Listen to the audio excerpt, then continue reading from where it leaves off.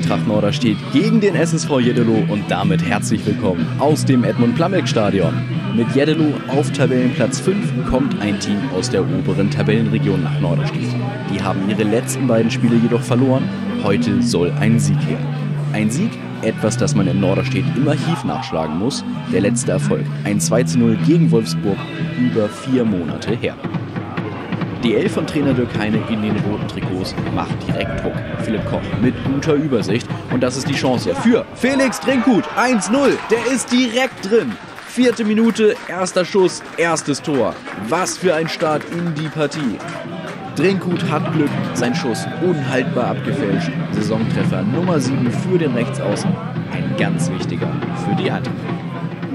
Und die ist heute richtig gut drauf. Dominant, schnell, spielstark.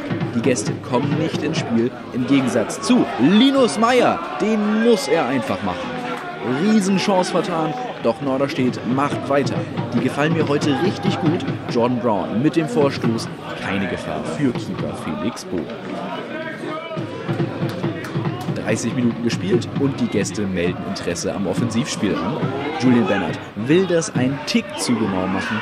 Sein Schuss ein erstes Ausrufezeichen. Der Ammerländer. Die finden nun mehr und mehr in die Partie.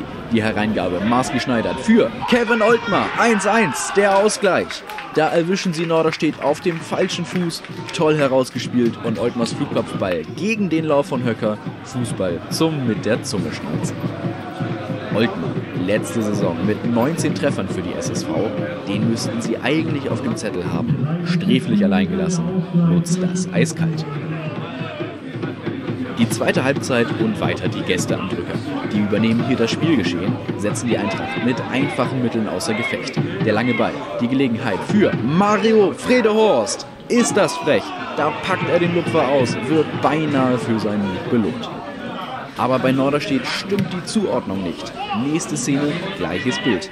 Wieder die Eintracht-Defensive mit dem langen Ball überfordert. Ein Querpass genügt, 2-1. Die Führung für die Gäste durch Alessandro Ficara.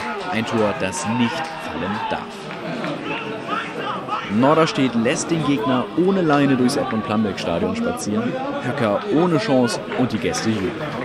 Alessandro Ficara, 27 Jahre alter Italiener, beheimatet auf den Flügeln, besorgt die mittlerweile verdiente Führung für Jeden. Trainer Dirk Heine reagiert, bringt mit Jan Lüneburg einen weiteren Stürmer und neue taktische Instruktionen.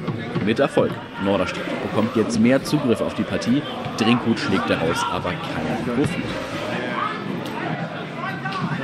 Mittlerweile ist hier eher an Skifahren als an Fußballspielen zu denken, doch das tut der Partie keinen Abbruch.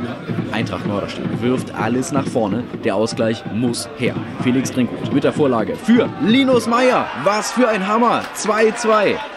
Wenn es mit feiner Fußballkunst nicht klappt, dann halt mit der Brechaxt. Linus Meyer nimmt allen Mut zusammen. Der Gewaltschuss unhaltbar für Felix Bohr. Meyer macht seine vergebene Großchance wett. Der Ausgleich ist da und vielleicht geht da ja noch was.